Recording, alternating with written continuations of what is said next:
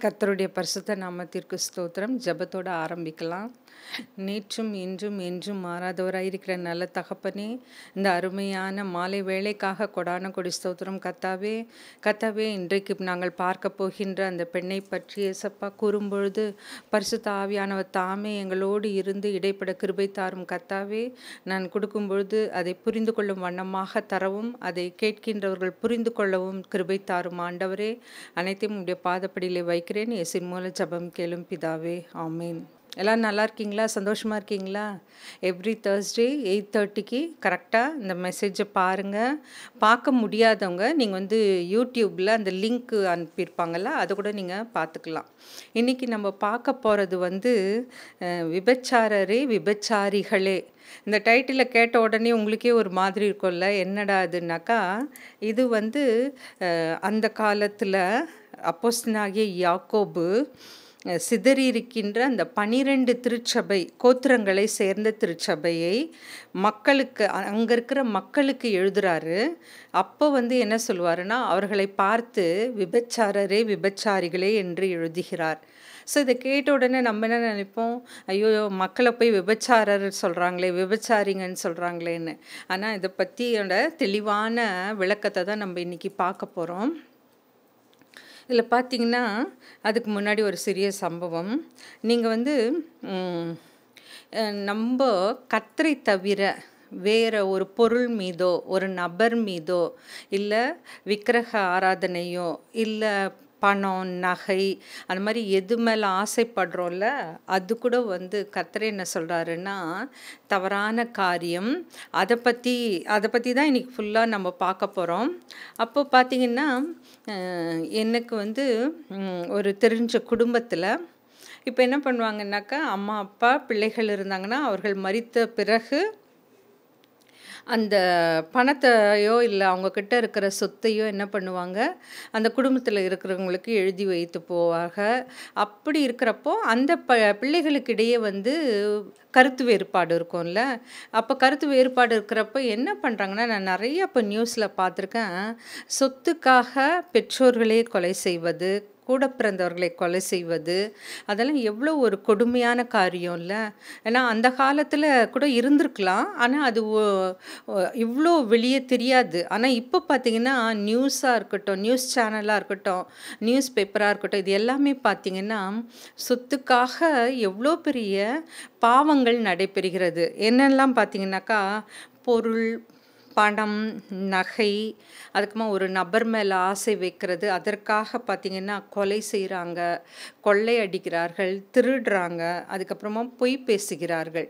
ஏன்னா அது ஏதாவது ஒன்று அவங்க வந்து இது பண்ணணும்னா உடனே போய் பொய் சொல்லிடுறாங்க. மறைக்கணும் அப்படின்னாக்கா பொய் சொல்லிடுறாங்க. அப்போ பார்த்திங்கன்னா என்ன பண்ணுவாங்கன்னாக்கா ஜென்ரலாகவே இது வந்து ஒரு ஜென்ரலாக இருக்கும். இப்போ ஒரு குடும்பத்தில் வந்து ஒரு ஆறு ஏழு பேர் இருக்காங்கன்னு வச்சுங்க பிள்ளைகள். அப்போ பெற்றவர்கள் வந்து என்ன பண்ணுவாங்கன்னாக்கா அந்த காலத்துலலாம் பார்த்திங்கன்னா ஆண்களுக்கு அதிகமாகவும் பெண்களுக்கு குறைவாகவும் தான் கொடுத்தாங்க. ஒரு சில ஃபேமிலியில் பெண்களுக்கே சொத்து கிடையாதுன்னிடுவாங்க அதுக்கப்புறம் பார்த்திங்கன்னா இப்போ தான் அந்த சட்டம் இயற்றப்பட்ட பிறகு தான் பெண்களுக்கும் சம உரிமை உண்டு. ஆனால் இன்னமும் நிறைய கிராமத்தில் பார்த்தீங்கன்னா ஆண்களுக்கு தான் முன்னுரிமை வழங்கப்படுகிறது. அந்த சொத்துன்னு எடுத்துட்டனாலே பார்த்தீங்கன்னா ஆண்களுக்கு தான் முன்னுரிமை. அது போக தான் பெண்களுக்கு தருகிறார்கள். ஆனால் நிறைய பேர் வீட்டில் இப்போ இப்போது நல்லா படித்து அந்த டிஃப்ரெண்ட் என்விரான்மெண்ட்டில் வளரும் பொழுது அவங்க என்ன பண்ணுறாங்கன்னா பெண்களுக்கும் வந்து சொத்துல பங்கு தர்றாங்க. அதுக்கு அதை விட ரொம்ப கொடுமையான விஷயம் என்னென்னாக்கா பெற்றவர்கள் அவங்க வயதான உடனே வந்து சொத்தை வந்து பிள்ளைகளுக்கு எழுதி வச்சிடுறாங்க. அதுக்கப்புறம் பார்த்திங்கன்னா அவங்கள பராமரிக்கிறது யாருன்றது ஒரு பெரிய கொஸ்டின் மார்க் மார்க்காக மாறிடுது. என்ன பண்ணுவாங்கன்னா ஒரு சில வீட்டில் இப்போ ஒரு ஒரு மாதம் ஒருத்தர் வீட்டில் பார்த்துக்குறாங்க இன்னொரு மாதம் இன்னொருத்தர் வீட்டில் நீங்கள் ஒரு நிமிஷம் அதை யோசித்து பாருங்கள் வயதானவர்கள் எப்படி ட்ராவல் பண்ணுவாங்க? எல்லா பொருளையும் தூக்கிட்டு எப்படி ஒரு வீட்டிலேருந்து இன்னொரு வீட்டுக்கு போவாங்க? அது எவ்வளோ ஒரு ரொம்ப வரு வருந்தத்தக்க செயல். நீங்களே யோசித்து பாருங்களேன். நம்ம எங்கே இருக்கிற வரைக்கும் நல்லா ஓடி ஆட முடியும் எல்லா வேலைகளையும் செய்ய முடியும். ஆனால் வயது மூப்பின் காரணமாக எப்படி ட்ராவல் பண்ண முடியும் யோசித்து பாருங்கள் ஒரு ஊரில் ஒரு பையன் இருந்தானா இன்னொரு ஊரில் இன்னொரு பையன் இருப்பான். அவங்க வந்து வந்துரு அப்படின்வாங்க சரி இங்கேருந்து அங்கே போவாங்க. அப்புறம் அந்த ஊர்லேருந்து இன்னொரு ஊருக்கு இப்படி வந்து அவங்கள வந்து அலக்கழிப்பாங்க. நான் என்ன என்னோட கருத்து என்னென்னா பெற்றோர்களை ஒரு இடத்துல வைத்து பிள்ளைகள் வந்து யாராவது எத்தனை பேர் இருக்கீங்களோ இல்லை ஒருத்தர் இருக்கீங்களோ அவங்கள வந்து பார்த்துக்குங்க. அவங்களுக்கு செய்ய வேண்டிய கடமைகளெல்லாம் நம்ம செய்ய வேண்டும். ஆனால் இங்கே பார்த்தீங்கன்னாக்கா யாக்கோபு என்ன பண்ணுவாருன்னாக்கா இவர் விபச்சாரிகளே விபச்சாரரேன்னு அழைக்கிறது வந்து மாம்ச பிரகாரமான அந்த தொழிலை குறிப்பது அல்ல. அவர் எதை சொல்கிறாருனாக்கா ஆவிக்குரிய வாழ்க்கையில் தேவன் மேலே நீங்கள் வைக்க வேண்டிய அந்த சிநேகத்தை உலகத்தின் மேல் வை இருக்கிறீங்க பாருங்கள் அதை தான் அவர் வந்து அப்படி சொல்கிறாரு ஏன்னா நம்ம கத்தரை சிநேகிக்காமல் உலகத்தில் இருக்கிறவங்கள சிநேகித்தால் அதனுடைய வர அதனால் வரக்கூடிய விளைவுகள் என்னன்னு உங்களுக்கே தெரியும்.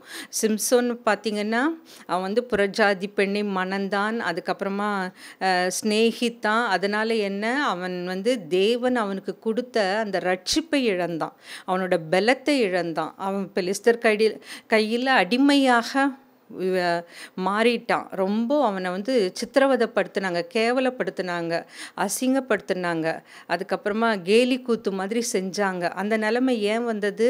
அவன் இன்னொருத்தரை நாடி சென்றதுனால கத்தரை முக்கியத்துவம் தராமல் நம்ம எப்போ இன்னொருத்தரை நாடி செல்கிறோமோ இன்னொருத்தர் மேலே பற்று வைக்கிறோமோ ஒரு பொருளாக இருக்கட்டும் இல்லை நகையாக இருக்கட்டும் இல்லை பணமாக இருக்கட்டும் இல்லை எந்த ஒரு காரியமாக இருந்தாலும் கர்த்தர் வந்து அதை விரும்பவே மாட்டார். ஏன்னா ஏன்னா முதலாவது நம்ம வந்து தேவனுக்குரியது எல்லாமே. அது முதற் பிள்ளைகளாக இருக்கட்டும் நம்ம கூட ஆர்வஸ் ஃபெஸ்டிவல்னு சபையிலெல்லாம் செலிப்ரேட் பண்ணுவோம்ல அது எதுக்காக?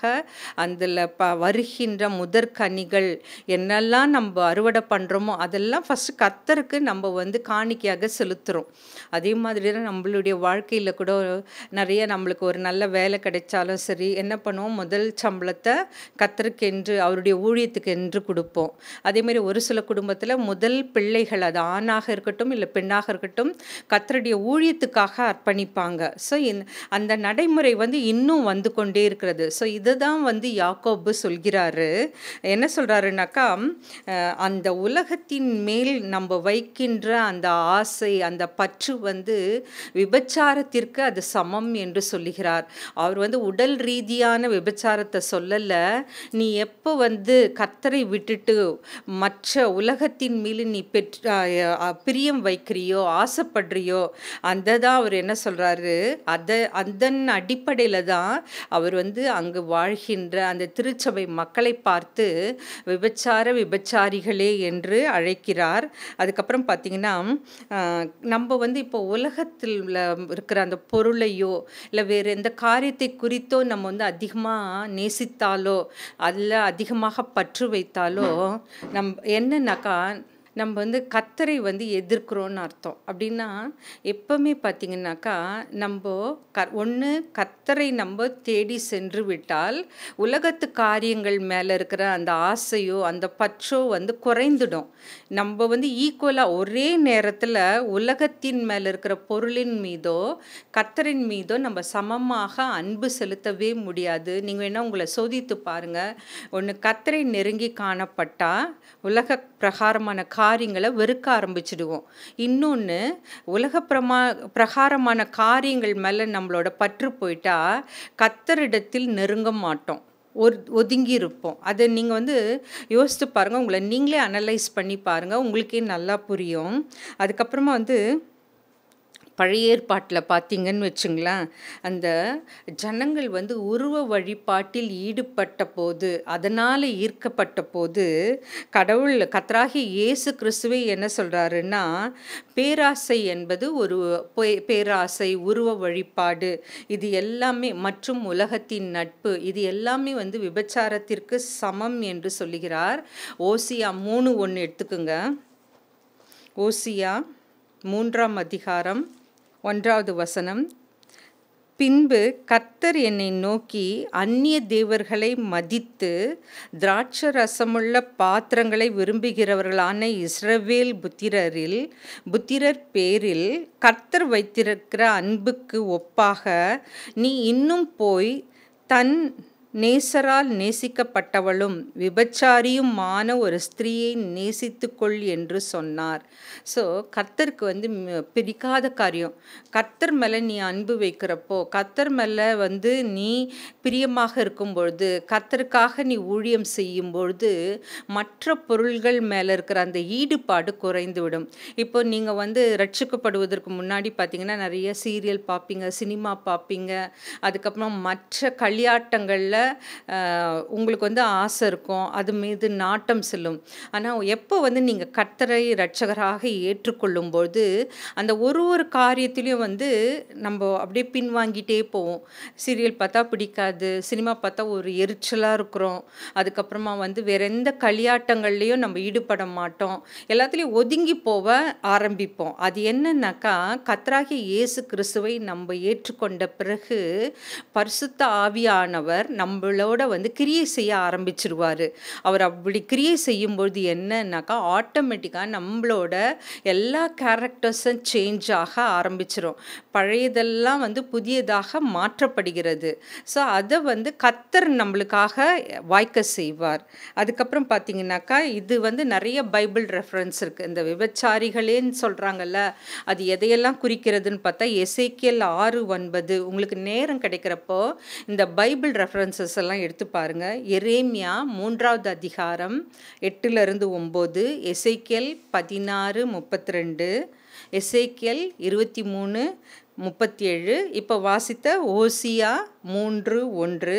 அதுக்கப்புறமா வந்து அது மட்டும் இல்லாமல் புதிய ஏற்பாடு கொலோசையர் எடுத்துக்கோங்க. மூன்றாவது அதிகாரம் ஐந்தாவது வசனம்.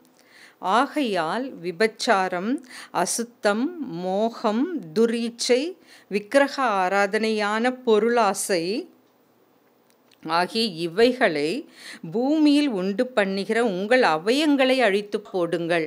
ஸோ இது வந்து பவுல் எழுதுறாரு. அப்போ வந்து பார்த்திங்கன்னா அந்த காலத்தில் ஊழியம் செய்தவர்கள் அப்போசிலர்கள் மற்றும் இவாஞ்சலிசம் செய்கிறாங்களா அவங்க எல்லாருமே பார்த்திங்கன்னா பரிசுத்தமாக இருப்பாங்க. கர்த்தருக்கென்று அவர்கள் த- தன்னுடைய வாழ்க்கையை அர்ப்பணித்த பிறகு அவங்களுடைய எண்ணம் செயல் எல்லாமே வந்து கத்தர் விரும்புகின்ற பாதையில் தான் இருக்கும். அவர் வழியில் தான் நடப்பாங்க. ஸோ இன்னைக்கு நீ நம்ம வந்து ஆராய்ந்து பார்க்க வேண்டும். நம்மளுடைய குணங்கள் எப்படி இருக்கிறதா? கத்தரை பிரியப்படுத்துகிறோமா? இல்லை கத்தரை விட்டு பின்வாங்கி காணப்படுகின்றோமா? இல்லை கர்த்தருக்காக நம்ம எழுந்து பிரகாசிக்கிறோமா? இதெல்லாம் நம்ம யோசித்து பார்க்கணும். அதுக்கப்புறமா வந்து கர்த்தர் என்ன சொல்லுவாருன்னா உருவ வழிபாடு. இது கூட வந்து ஒரு விபச்சாரம் செய்வதற்கு அது சமம்னு சொல்லியிருக்காரு. அதுக்கப்புறம் பார்த்தீங்கன்னாக்கா நான் வந்து ஒரு மீட்டிங் அட்டன் பண்ணேன். அப்போ வந்து அங்கே மெசேஜ் கொடுக்க வந்த அவங்க வந்து உருவ வழிபாடை பற்றி கொடுக்க வந்தார். அப்போ நான் நினச்சேன் அப் அப்போனா ஒரு கொஞ்சம் காலத்துக்கு முன்னாடி அப்போ வந்து அவர் சொன்னார் ஐடல் வர்ஷிப்னா நீங்கள் வந்து உருவத்தை உருவ வழிபாடு சிலை வழிபாடு மட்டும் கிடையாது. நீங்கள் எந்த ஒரு பொருளை அதிகமாக விரும்புகிறீங்களோ அது ஐடல் வர்ஷிப் ஒரு பொருளாக இருக்கட்டும் இல்லை பணம் மேலே அதிகமாக ஆசை பற்று அதுக்கப்புறமா நகை அதுக்கப்புறமா வந்து மற்ற காரியங்கள் குறித்து எப்போ நம்ம கத்தருக்கு முதலிடம் தராமல் மற்ற காரியங்கள் மேலே நம்ம பற்று அதிகமாக போகுதோ அது வந்து ஒரு ஐடியல் வர்ஷிப்ன்றாரு அதே தான் யாக்கோபு என்ன சொல்கிறாரு விபச்சாரம் செய்வதற்கு சமம் என்று கூறுகிறார். அதனால தான் அவர் சொல்கிறப்ப என்ன சொல்கிறாரு விபச்சார விபச்சாரிகளே அப்படின்னு சொல்கிறாரு ஸோ இதை நம்ம வந்து நல்லா புரிஞ்சுக்கணும். நம்ம வந்து அப்படியே லிட்ரல் அப்படியே மேலோட்டமான அர்த்தம் எடுத்தோம்னா அது என்ன குறிக்கும்? அந்த தொ விபச்சாரம்னா மாம்சம் சம்பந்தமான தொழிலை செய்கின்றவர்களை குறிக்கிறது. ஆனால் கத்தர் வந்து இங்கே அதை குறிக்கல. யாரெல்லாம் உலகத்தின் மேலே அதன் பொருட்கள் மேலே கத்தரை விட்டு அதிகம் நாட்டம் பற்று கொள்கிறார்களோ அவர்களுக்கு எச்சரியா எச்சரிக்கையாக தான் வந்து விபச்சாரிகளே விபச்சாரரேன்னு இருப்பாளரையும் குறிக்கின்றார். அதுக்கப்புறம் நெக்ஸ்ட்டு வந்து நம்ம ஆல்ரெடி இப்போ தான் நான் சொன்னேன் ஒரே டைமில் நம்ம வந்து ரெண்டு பேரை நேசிக்க முடியாதுல்ல. நீங்கள் வீட்டில் கூட யோசித்து பாருங்கள் பேரண்ட்ஸ் வந்து இப்போ நிறைய பிள்ளைகள் இருந்தாங்கன்னா எல்லாரையும் ஒரே மாதிரி நேசிக்க மாட்டாங்க. யாராவது ஒருத்தர் மேலே கொஞ்சம் அதிக அன்பு வைப்பாங்க. அதே மாதிரி ஈசாக்கு கூட பார்த்தீங்கன்னா ஈசாக்கு யாக்கோபு அவங்க லைஃப் ஹிஸ்ட்ரியே பார்த்தீங்கன்னா ஈசாக்கு வந்து ஏசாவை விரும்பினார். யாக்கோபு வந்து யோசிப்பை விரும்பினார். அப்போது அந்த லைஃப் ஹிஸ்ட்ரி ஹிஸ்ட்ரியே அப்படியே எடுத்திங்கன்னா யாராவது ஒருத்தர் மேலே பார்த்திங்கன்னா அதிக பற்று வைத்திருப்பார்கள். அப்போது கத்தரால் தெரிந்து கொள்ளப்பட்டவர்கள் வந்து எவ்வளோ தாழ்மையான நிலைமையில் இருந்தாலும் அவர்களை எல்லாம் வந்து தலையாக உயர்த்துவார். நான் நான் வந்து ஒரு கொஞ்சம் ஒரு ரெண்டு வருடத்திற்கு முன்பாக நான் வந்து இந்த மெசேஜில் கூட சொல்லியிருப்பேன். இந்த நகை திருடு போனது அதை பற்றிலாம் சொல்லியிருப்பேன். அப்போ பார்த்தீங்கன்னா எனக்கு வந்து அதில் சம்மந்தப்பட்ட அந்த ஆள் யாருன்னு தெரியும். அவங்களுக்கு உதவியாக இருந்தவங்களும் யாருன்றத கர்த்தர் தெளிவாக காமிச்சிட்டாரு. ஆனால் நான் வந்து ஒருத்தர்கிட்ட தான் கேட்டேன். இன்னொருத்தர்கிட்ட இன்னும் நான் போய் கேட்கவே இல்லை. அப்போ வந்து பார்த்திங்கன்னா அந்த அந்த பெண்ணை வந்து இதில் யார் ஈடுபட்டிருந்தாங்களோ அந்த பெண்ணை வந்து நான் ரெண்டு நாளைக்கு முன்னாடி பார்த்தேன். அப்போ பார்க்குறப்போ எனக்கு ரொம்ப அதிசயமாக இருந்தது. ஏன்னா இழந்த நான் வந்து கஷ்டப்படுறேன். ஐயோ என்னடா இன்னும் கிடைக்கலையே அப்படின்லாம் வந்து வேதனைப்படுறேன். ஆனால் எடுத்தவங்களோ இல்லை அந்த செயலில் தூண்டினவர்களோ அவ்வளோ சந்தோஷமாக இருக்காங்க. இன்னும் நல்லா ஃப்ளரிஷ் ஆகிட்டே தான் போகிறாங்க அவங்கக்கிட்ட எந்த விதமான ஒரு குற்ற உணர்ச்சி கூட கிடையாது. அப்போ தான் நான் யோசிப்பேன் ஓ கடவுளை கத்தராக இயேசு கிறிஸ்துவை இவங்க சொந்த ரட்சகராக ஏற்றுக்கொள்ளாதனால தான் இவங்கக்கிட்ட அந்த குற்ற உணர்ச்சியே கிடையாது. சந்தோஷமாக இருக்கிறாங்க. தப்பு செய்கிறதுக்கு பயப்படுறதே இல்லை. அதனால தான் கொலைகள் கொள்ளைகள் குற்றங்கள் நிறைய விபச்சாரம் அதுக்கப்புறமா நிறைய துர்க நற்குணங்கள் படைத்தவர்களாக காணப்படுகிறார்கள். இந்த சமுதாயத்தை பார்த்திங்கன்னா எல்லாம் இப்போது எங்கள் நாங்கள் வேலை செய்கின்ற இடங்களில் கூட பார்த்திங்கனாக்கா அந்த ஊழலுக்கு எதிரான உறுதிமொழி அதுக்கப்புறமா ட்ரக் ஆன்டி ட்ரக்கு அந்த மாதிரி நிறைய உறுதிமொழி எடுக்கிறோம். ஆனால் அந்த உறுதிமொழிகளில் சொல்லப்படுகின்ற காரியங்கள் எத்தனை பேர் போய் சென்றடையுதுன்னு பார்த்தீங்கன்னா எங்களுக்கு தெரியாது. ஏன்னா உறுதிமொழி எடுக்கிறோம் பசங்களுக்கு அட்வைஸ் பண்ணுறோம் நீங்கள் இப்படி இருக்கணும் அப்படி இருக்கணும்னு. ஆனால் அது எத் எத்தனை பேரை வந்து அந்த அவங்களோட மனதை பாதிக்கிறது ஐயோ நம்ம தப்பாக நடக்கிறோம் இனிமேல் நல்லவங்களாக இருக்கணும் அப்படி பாதிக்கிறதுன்றது தெரியாது. அதே அதுதான். அது வந்து நம்ம வந்து ஆராய்ந்து பார்க்கணும். ஏன்னா ஒருத்தர் சொல்ல தான் முடியும். திருந்துறது வந்து நம்ம கையில் தான் இருக்குது. நம்ம தப்பு பண்ணுறோன்ற அந்த குற்ற உணர்ச்சி அந்த உணர்த்துதல் இருந்தால் ஆட்டோமேட்டிக்காக நம்மளே சேஞ்ச் ஆக ஆரம்பிச்சிடுவோம். அதுக்கப்புறம் பார்த்திங்கன்னா இன்னொன்று வந்து சொல்லுவாங்க உலகத்தின் நண்பன் வந்து கடவுளுக்கு எதிரி. ஏன்னா இப்போ நீங்கள் யோசிச்சு பாருங்கள் இப்போ வந்து ஒரு ஸ்டூடெண்ட்டாக இருக்கட்டும் இல்லை வேலை செய்கிறவங்களா இருக்கட்டும் உங்கள் வேலையெல்லாம் முடிஞ்சு என்ன பண்ணுறீங்க வீட்டுக்கு போகிறீங்க வீட்டுக்கு போனோடனே உங்கள் கடமைகள்லாம் செய்கிறீங்க அதுக்கப்புறமா என்ன பண்ணுறோம் உடனே மொபைல் எடுத்து வச்சுக்கிறோம். யாரெல்லாம் மெசேஜ் அனுப்புனாங்க யாரெல்லாம் என்ன விஷ் பண்ணாங்க? இன்றைக்கி என்னெல்லாம் நடந்தது? அதெல்லாம் பார்க்குறோம். அதெல்லாம் வந்து ஸ்டேட்டஸில் வைக்கிறோம். அது எத்தனை பேர் லைக் பண்ணுறாங்கன்னு பார்க்குறோம். அதுக்கப்புறமா வந்து மற்றவங்க கூட சாட் பண்ணுறோம் இதில் எல்லாம் தான் நம்ம கான்சன்ட்ரேஷன் போகுது. அப்படின்னா உலகத்தின் நண்பனாக தான் நம்ம இருக்கிறோமே ஒழிய கத்தரை எப்போ தேடுறோம்? கடைசி தான் அது கூட ஒரு சிலர் டயர்டாயிட்டு தூங்கிடுவோம். எப்போ? படுக்க போவதற்கு முன்பாக தான் அது கூட எவ்வளோ நேரம்? ஒரு அஞ்சு நிமிஷம் பத்து நிமிஷம். ஏன்னா ஆறு மணிலேருந்து பத்து மணி வரைக்கும் நம்ம டயர்டே ஆக மாட்டோம். உலக காரியங்களில் எல்லாத்துலேயும் ஈடுபடுவோம். யாராவது ரிலேட்டிவ்ஸ் வந்தாலும் ஃப்ரெண்ட்ஸ் வந்தாலும் பேசுவோம் செய்வோம். எல்லா காரியத்துலேயும் ஈடுபடுவோம். ஆனால் அந்த ப்ரேயர்னு வந்தால் மட்டும் நம்ம வந்து அதுலேருந்து ஒதுங்கி நிற்கிறோம் எங்கள் நாங்கள் படிக்கின்ற இடங்களில் பைபிள் பற்றி படிக்கின்ற அந்த கல்லூரியில் பார்த்திங்கன்னா எங்களுக்கு வந்து ப்ரேயர் டைம்னு இருக்கும். ஒரு நாள் வந்து ஒரு ஒன்றரை மணி நேரம் ரெண்டு மணி நேரம் உலகத்தின் காரியங்களுக்காக ஒரு குரூப் குரூப்பாக நாங்கள் ப்ரேயர் பண்ணுவோம். அப்போ பார்த்திங்கன்னா அந்த ப்ரேயரில் கனெக்ட் பண்ணுறப்போ ஒரு சிலர் என்ன சொல்லுவாங்கன்னா சிஸ்டர் நான் வெளியில் இருக்கிறேன். சிஸ்டர் எங்கள் வீட்டுக்கு வந்து விருந்தினர் வந்துட்டாங்க.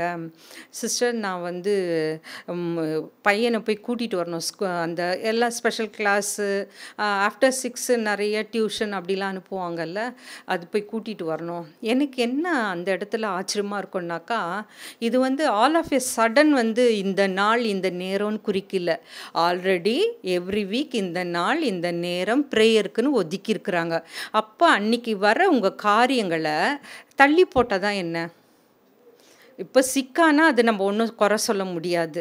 ஐயோ அந்த டைமில் சிக்காயிட்டாங்க ஹாஸ்பிட்டல் கூட்டு போனோம். அந்த நேரத்தில் நம்மளே சிக்காயிட்டோம். அப்போது அதில் பங்கு பெற முடியல. அப்படின்னாக்கா அதை நம்ம அக்செப்ட் பண்ணிக்கலாம். ஆனால் இந்த ஒரு இப்போ ஒரு ரிலேட்டிவ்ஸ் வர்றாங்க இல்லை ஒரு ஏதோ ஒரு ஃபங்க்ஷன் நடக்குது இல்லை வேறு ஏதோன்னாக்கா நம்ம வந்து சொல்லலாம். இந்த நாள் இந்த டைமில் எங்களுக்கு ப்ரேயர் நடக்குது. அப்போ வந்து நான் அதில் பார்ட்டிசிபேட் பண்ணணும். எனக்கு அதில் ஒரு நம்பிக்கை இருக்குது அதில் ஒரு பிரியம் இருக்குது அப்படின்னு எடுத்து சொல்லலாம். ஆனால் யாருமே நம்ம சொல்லவே மாட்டோம். மற்றவங்கள பிரியப்படுத்த தான் பார்த்துக்குவோம் கர்த்தரை ஒரு பக்கம் அப்படியே சைலண்ட்டாக ஒதுக்கிடுவோம்.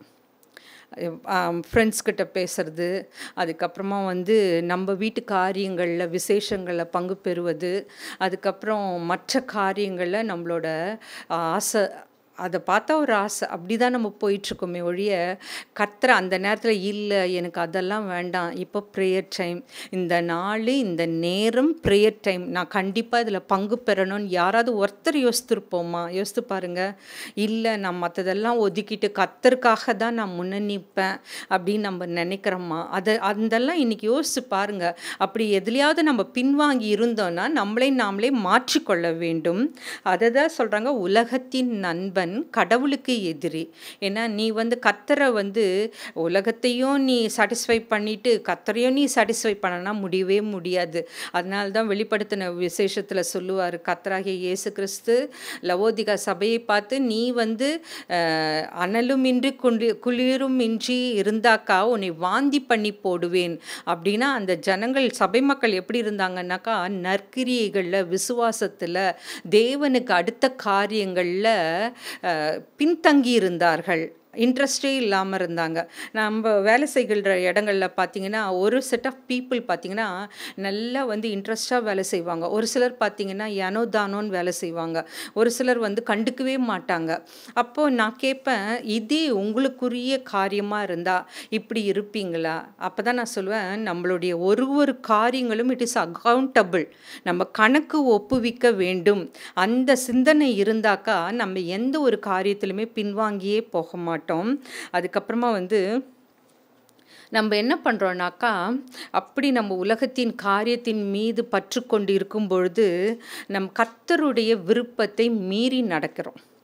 அது கரெக்டு தானே? நீங்களே யோசிச்சு பாருங்க. இப்போ ஃபார் எக்ஸாம்பிள் வந்து இப்போது எங்களுக்கு இப்போ இந்த நேரம் வந்து ப்ரேயர் பண்ண கூப்பிட்றாங்கன்னு வச்சுக்கோ. அதே டைமு உங்கள் ஃப்ரெண்டோ இல்லை உங்கள் வீட்லேயோ ஷாப்பிங் போகலான்றாங்க அப்போ நீங்கள் என்ன பண்ணுறீங்க ஷாப்பிங் போகிறதுல விருப்பம் இருக்குது உங்களுக்கு. போயிடுறீங்க.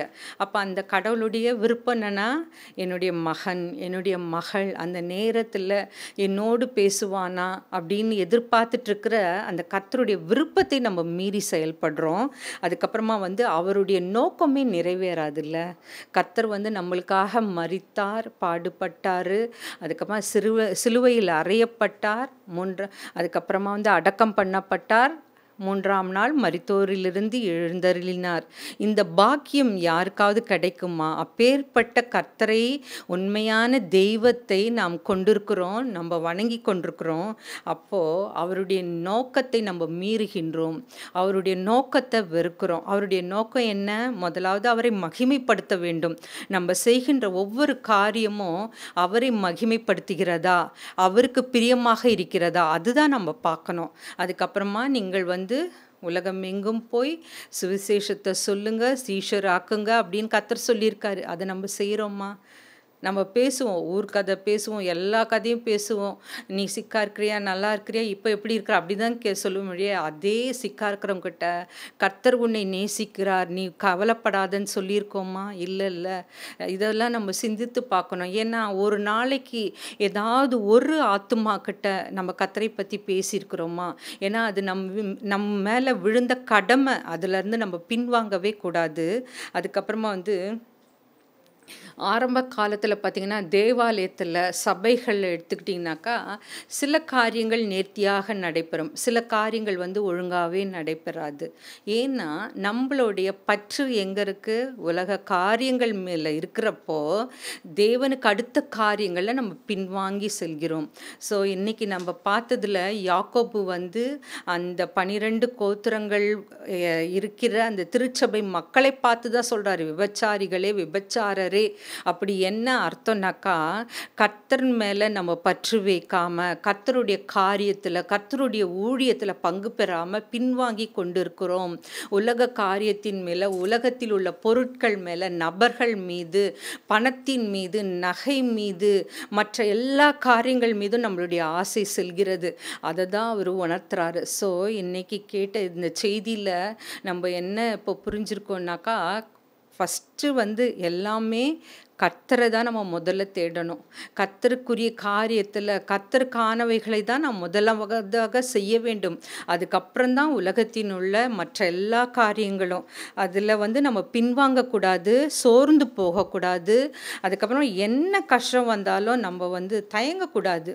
ஏன்னா இவ்வளோ கஷ்டத்தை வந்து கொடுக்குறாருனாக்கா கத்தர் நம்மளை சிட்சிக்கிறார் தண்டிக்கலை கர்த்தர் வந்து தண்டிப்பவர் அல்ல. நம்மளை சிட்சிக்கிறார். அப்படி எடுத்துக்குங்க.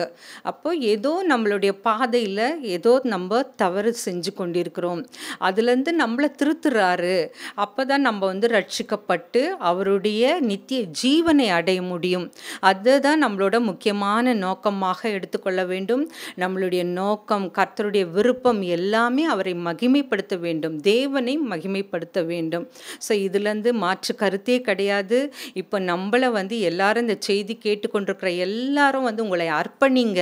அது கர்த்தரை இயேசுவை விசுவாசிக்கிறவங்களாக இருந்தாலும் சரி மற்ற தெய்வத்தை நாடுகிறவர்களாக இருந்தாலும் சரி இந்த சத்தியத்தில் என்ன கூறியிருக்கு இதை எதை பற்றி சொல்கிறாங்க ஏன் உலகத்து காரியத்தை வெறுக்க சொல்கிறாங்க நான் வெறுக்க சொல்லலை அது மேலே அதிகம் பற்று வைக்காதீர்கள்.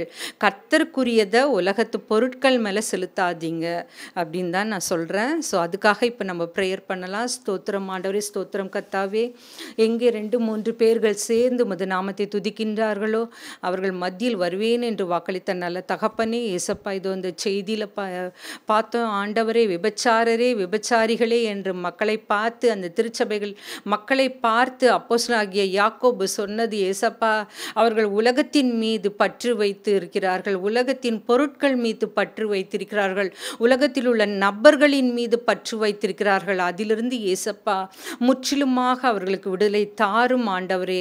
அதனால் எத்தனையோ பாவ வழிக்கு செல்ல வழிவகிக்கிறது ஆண்டவரே. கொலை கொள்ளை திருடு அதுக்கப்புறமா வந்து மற்ற பொருளின் மேலே இச்சை ஆசை இந்த மாதிரி பல்வேறு கெட்ட காரியங்களுக்கு வகை வழிவகுக்கிறது ஆண்டவரே.